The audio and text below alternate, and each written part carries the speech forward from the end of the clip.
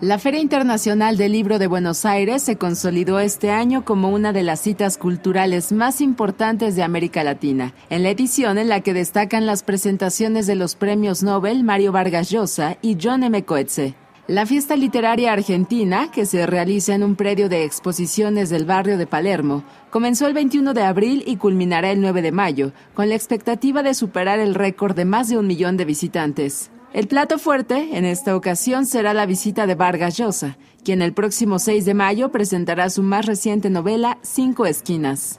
Coetze, por su parte, participó el 22 de abril en la mesa redonda de la escritura a la edición, un ejercicio de comparación entre Australia y Argentina, al lado de Delia Falconer, Ivor Indik, Luis Chitarroni y Selva Almada. Los rostros que más se repiten a lo largo de los stands son los del argentino Julio Cortázar y el uruguayo Eduardo Galeano, quienes siguen siendo garantía de ventas gracias a la vigencia de su obra. Además de comprar libros, los visitantes participan en presentaciones, debates, charlas, exposiciones y lecturas que suelen estar colmadas, ya que hay ofertas para todos, desde temas infantiles, literatura erótica y cómics, hasta autoayuda, ciencia y tecnología y colecciones de divulgación con información e imágenes de Cecilia González, corresponsal en Argentina.